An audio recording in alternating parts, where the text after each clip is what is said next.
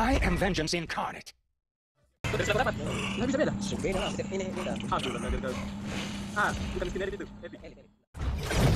time to chit-chat.